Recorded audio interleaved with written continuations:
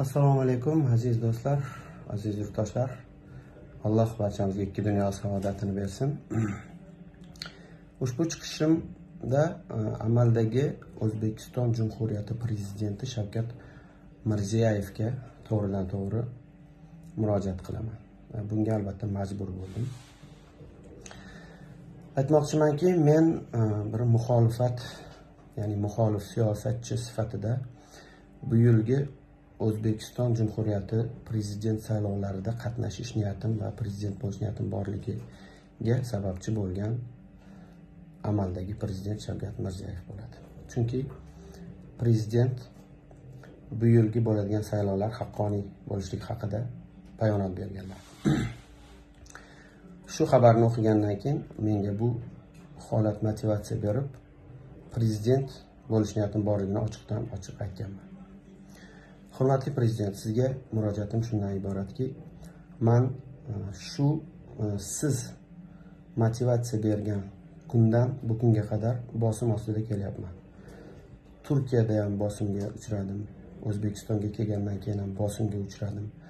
Xalq manfaatlari demokratik partiyasiga a'zo bo'lganimda ham bosimlarga uchradim. Oilam ham bosimga uchrab kelyapti chet eldagi oilam ham. O'zbekistonda ham ota onam hammamiz bosim ostidamiz kuzatuv ostidamiz. Telefonlarimiz ham manimcha eshitishsa kerak. Barcha mol mulkim ya'ni yigirma ikki yil davomida san'atkorlik qilib farzandlarim uchun qilgan mol mulkim hammasi nazorat ostida hammasiga zapret qo'yishgan. Na sota olmayman na ololmayman chunki mani ham oldi berdilarim bor. Kimgadir berishim kerak berolmayapman kimgadirdandir olishim kerak ololmayapman. Va albatta sizni ya'ni sizga xizmat qilayotgan siz boshqarayotgan hukumatga xizmat qilayotgan kuch ishlatar tizimlar ham e, o'zbekistonga kelganimdan beri bosim ostida qoldirishyapti mani agar bunaqa bosimlar davom etadigan bo'lsa yurtimizda hech qanaqa rivojlanish bo'lmaydi. Zotan yurtimizda saylovlar haqqoniy bo'lishi haqida siz bayonot bergansiz va bu bizga motivatsiya berib biz bu yo'lga kirganmiz. Chunki o'ttiz yildan beri xalqimiz og'ir ahvolda yashab kelyapti. Bu narsa bizga yoqmaydi. Qanaqadir chegaradan o'tmasin deb do'stlarimdan xabarlar berib yuborisharkan ekan mani hayron qoldiradi. O'sha kuch ishlatar tizim xodimlari mani do'stlarimni ham bezovta qilishyapti va ular orqali yetib qo'yinglar chegaradan o'tmasin.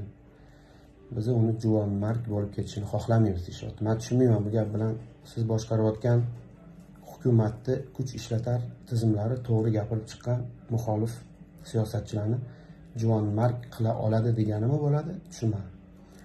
Va albatta bu narsalar bilan biz bu yo'ldan qaytish niyatimiz yo'q va bu yo'lda davom etishga haqlimiz.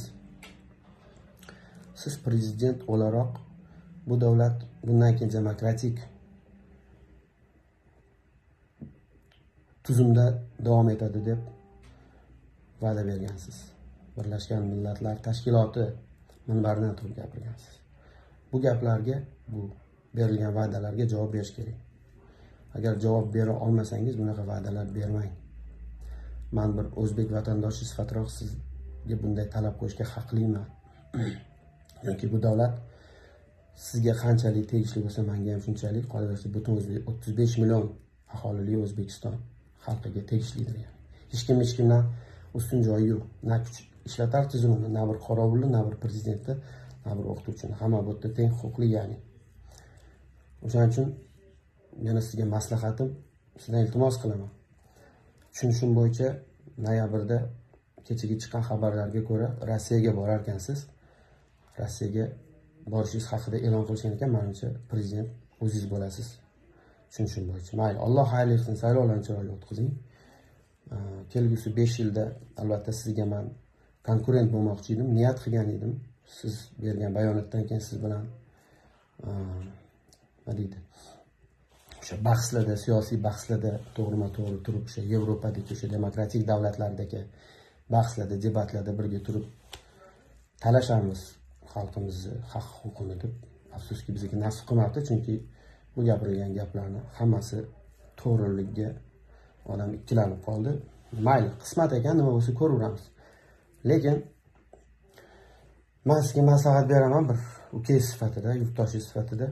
Xalq sizdan hech narsa so'rayotgani yo'q. Va'da bermang agar amalga oshmaydigan bo'lsa. Chunki gapirilgan gapni qilish kerak chunki bu masalan man bir musiqachi o'laroq yo bo'lmasam bir o'qituvchi o'laroq yo boshqa kasb egasi bo'lsam nimadir gapirsam orqaga qaytsam buni zarari faqat manga boshqaga zarari yo'q. Ollohni oldida ham o'zim o'zim javobgarligim oldida ham. Lekin sizni xalqqa e, qilayotgan bayonotlaringiz va'dalaringizni orqasidan zarar butun xalq ko'radi agar amalga oshmasa o'shaning amalga oshmaydigan bo'lsa lutchi va'da bermagan ma'qul. Va keyin yana shuni aytib o'tmoqchimanki mani farzandlarim mani oilam ota onam ishlarim mol mulkim saylovgacha saylovdan keyingi hayotimda qanaqadir bir zarar ko'radigan bo'lsa man buni siz boshqarayotgan siyosiy boshqaruv va hukumatdan ko'raman. Sog' bo'ling salomat bo'ling. Ikki dunyo saodatini tilayman ishlaringiz rivoj. Zotan hech kimga yomonligimiz yo'q.